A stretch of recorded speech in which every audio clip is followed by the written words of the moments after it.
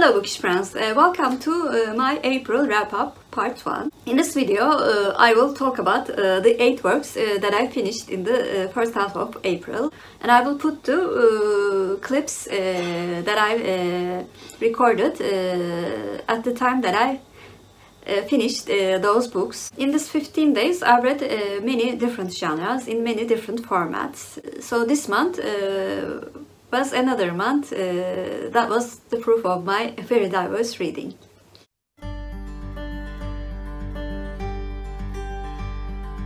Today is the 5th of uh, April. I finished my first novel uh, for April. But first of all, uh, I'm going to talk about uh, the uh, picture book uh, that I read in the weekend for Picture This Readathon. This readathon is hosted by uh, Jack at uh, Spread a Book Joy and uh, Shelly at uh, Shelly Swear- Swearingen. Uh, they have uh, six prompts uh, I decided to read a picture book uh, for uh, one prompt each weekend. And the prompt that I choose uh, for this weekend was Space. I read a, a picture book that I found in ar- archive.org, uh, which was called uh, Picture Me in the Future by Craig uh, Strasshofer. It was actually a Peel and Press book. I enjoyed looking at the pictures of this book uh, very, very much, but it was uh, geared towards, of course, uh, very young children. So it was a very simple story. On the other hand, it was interesting how they thought uh, the world would be in 21st century, uh, at the beginning of the century, how uh, different uh, it is from today's world. Anyway, because of its cuteness, I gave this picture book a 6 out of 10. Today I finished uh, Sparkling Cyanide by Agatha Christie. Uh, This was the book that I was reading for Christiefest. Uh, and uh, it was my uh, first time reading this Agatha Christie book. I listened to this novel as an audiobook, uh, which was narrated by Hugh Fraser. And if you like audiobooks, uh, I would strongly advise uh, the Hugh Fraser version. Uh, in this book, Rosemary Barton is found uh, that uh, in her birthday celebration, although it is thought that she had taken her own life by uh, drinking a cyanide uh, drink. Rosemary's husband uh, is not very sure about uh, this uh, verdict of suicide. He decides to confront the the other uh, five people along with himself uh, in that celebration uh, to the birthday celebration of her sister-in-law and he also consults Colonel Race, who has appeared in Christie's previous books, to help him uh, solve the murder. Very curious things happen uh, in the second celebration. I very much enjoyed uh, reading uh, this uh, novel. It was very fast-paced, and I wanted to keep on listening uh, to the book because I wanted to find out what, what was happening. I especially liked the first part of the book, in which uh, the events uh, leading up to the second celebration uh, is uh, given from the points of view of the six people uh, present in the uh, first party in which Rosemary Barton died. And to be honest, I had no idea who the uh, guilty party was uh, up until the very last chapters of the book. Um, and uh, I had a strong suspect in which I turned out to be very wrong about. Being a uh, dedicated mystery reader, I love being surprised. Agatha Christie does this best uh, in her novels. Uh, I had a, a very little problem about the motive. We were not uh, given uh, the sufficient clues uh, to find out about motive of the suspicious party. Other than that, I quite enjoyed reading this mystery and I gave it an 8 out of 10.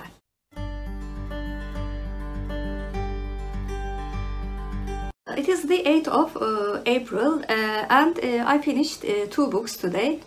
Uh, the first book that I finished uh, was the uh, book uh, that I picked uh, from my series Cup in March, Cress by Marissa Meyer. This is the third main book in Lunar Chronicles series, which is a young adult sci-fi series in which fairy tales are retold with a very different sci-fi and feminist perspective.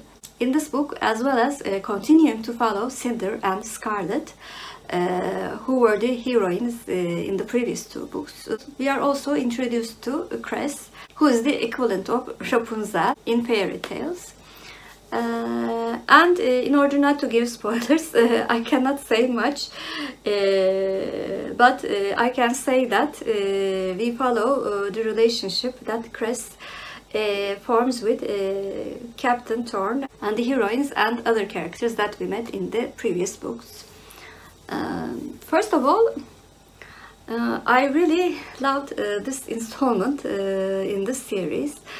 Uh, and uh, I, I loved uh, the character of Cress more than the other heroines, although I, I was quite fond of Cinder especially. And her budding romance with Thorn was one of the sweetest romances that I have read in young adult books. Uh, like in the previous books, I'm really loving the complex plot of the books as well as uh, the sci-fi world uh, that uh, Marissa Meyer created for this uh, book quartet.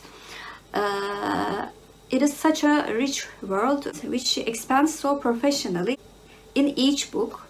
I really do like the writing style of Marissa Meyer. It's not simple yet it is very Eh, easy to follow. And I love the fact uh, that uh, we do not stop following the other heroines uh, in the previous books. I've grown to love Cinder, Scarlet and Wolf much more in these books. I'm still not very fond of Emperor Kai, but I think he, he will grow on me more in the following book uh, which I plan to read even if I do not pick uh, it from the cup. So in summary, I gave uh, Cress by Marissa Meyer a 9 out of 10.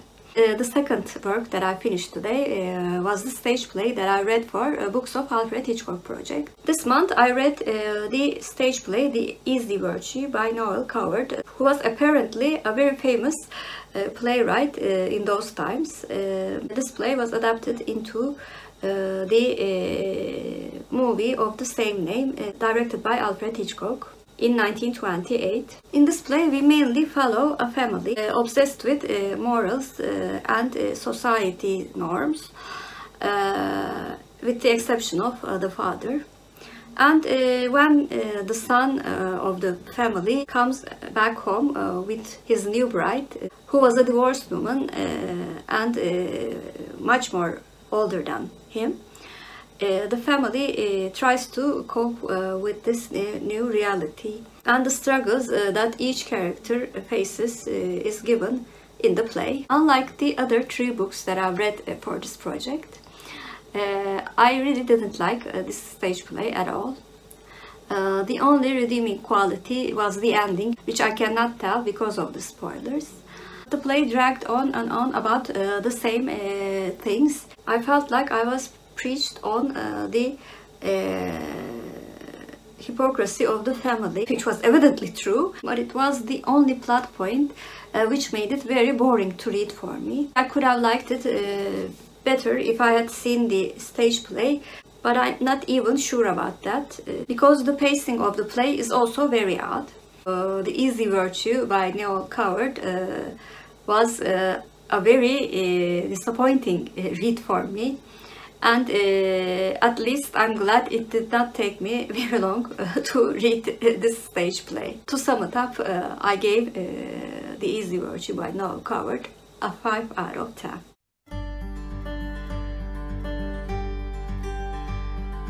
Today is the 11th of uh, April uh, and uh, I'm going to talk about uh, two very short works uh, that I finished uh, in the previous two days. Yesterday I read the second picture book that I was reading for Picture This Readathon. this time I read a, Turkish picture book called Pina and it was written by Elif Yemenici. In this picture book, Pina uh, is a uh, introvert who who's very afraid uh, to go out of uh, her house. Her uh, biggest joy is, to cook. When she is short of an ingredient one day, Uh, she has to uh, go out and she learns the joys of being uh, social, although she feels afraid at first.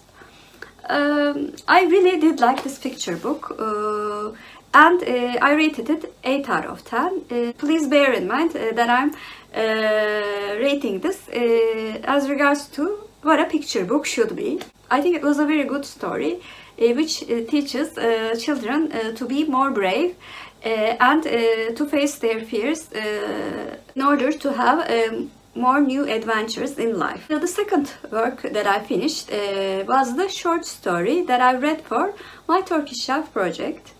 I read The Snows of Kilimanjaro by Ernest Hemingway. Part of the flashbacks in this short story takes place in uh, Istanbul, Turkey. In this short story, after a hunting accident in Kilimanjaro, Henry has to stay in bed during this time, uh, he remembers the horrors of uh, wars that he faced in his past life uh, through flashbacks. I will talk about the Turkish aspect of this short story in a separate video.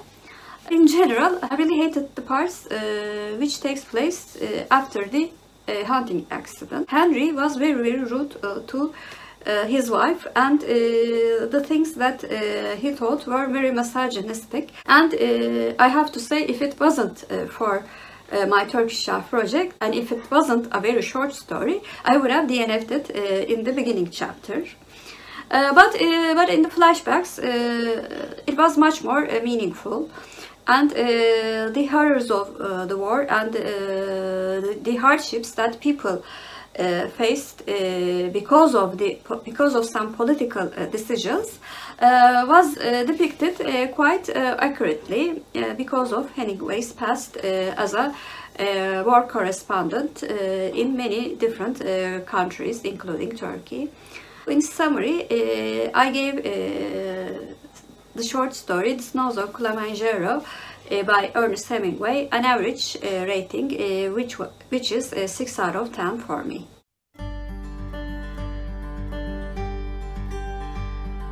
Today is the 13th of uh, April uh, and uh, I finished my body read of The Angels Game by Carlos Ruiz Zafón with Nikki at Red Dot Reads. Uh, uh, this is the uh, second book in the series of The Cemetery of Forgotten Books. Although this book was originally uh, written in Spanish, Nikki and I both read it in, uh, in its uh, English edition. In this book, uh, we follow David Martin, and at the beginning of the book, uh, he's a journalist who writes uh, crime stories in 1920s Barcelona. And with the help of a benefactor, he becomes uh, the author of uh, a uh, very famous pulp fiction series called The City of Damned. Uh, but uh, David uh, does not feel like he is using his full potential. One day, a bookseller whom he considers as a father figure takes him to a magical library in which the books find their own owner, finds a, a very strange, uh, sort of like a religious text that was written by an author uh, with the same initials as uh, David. And a few days after, he's given an offer uh, to write uh, a similar book about religion by Andres Corelli, who always carries an angel brooch uh, in his clothing. and after David accepts his offer and starts to write his own book about religion, uh, his life changes and many many mysterious things uh, do happen surrounding this uh, very suspicious uh, boss Andres Corelli as well as the author of the book that David uh, took out from the library. First of all, I loved uh, the body reading experience with Nikki. I loved uh, chatting with her about the book, uh, like we did in the Jo Nesbo series. We made many uh, predictions. Some of them came true, but uh, many of them didn't come true. I especially loved the first uh, three quarters of the book. the mystery gradually increased, and I was blown away by the really gothic, atmospheric writing style of Zafón. And the city of Barcelona was a character of its own. Uh, and towards the end, uh, the book got uh, more and more exciting, uh, but uh, I have to say it lost its gothic atmosphere uh, because uh, the book became uh, more like an action book, uh, and uh, David uh, was uh, sort of like an action hero. But because I was very much invested in the story, uh, I was quite satisfied with the ending uh, because of the change in the uh, writing style, which I loved very much in the first three quarters. Um, I gave the book one less rating than I originally thought that I would give, and instead of 9, of, 9 out of 10, I gave The Angel's Game 8 out of 10. Uh, I would strongly advise you to read this book if you like gothic books because you will love the writing style no matter what the ending is.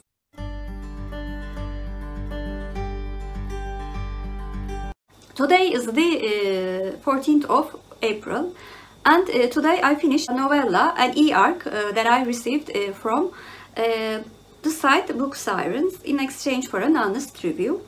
Uh, the name of the novella was A Stranger in the Storm by William Burton McCormick. This book was an historical urban mystery uh, book which takes place in Odessa in the year 1900. In this book, uh, two sisters, uh, Tasya and Eleni, are the daughters of a uh, landlady.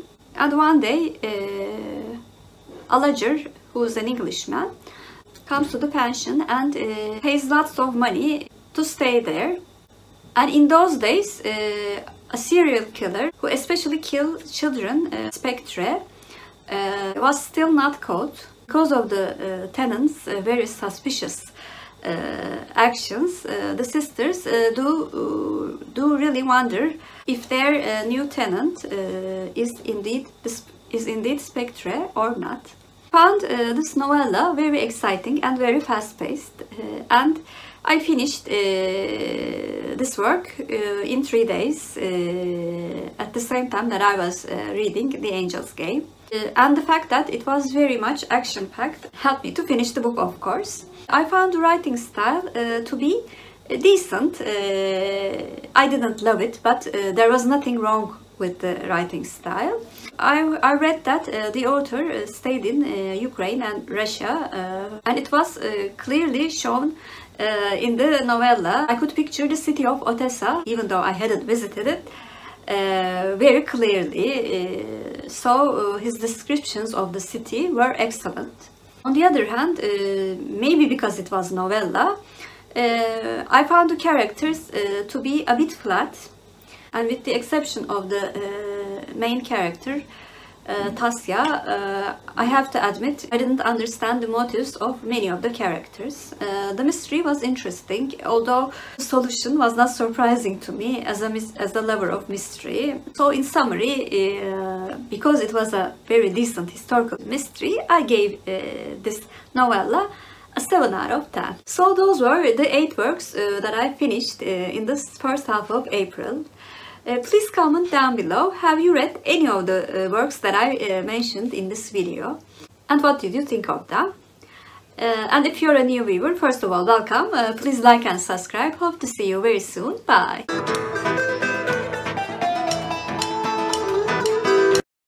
As for Turkish word of the day, because I'm joining uh, Picture This Readathon, I thought picture should be the word of the day. Picture means resim Turkish and resim is our Turkish word of the day. Have a good day.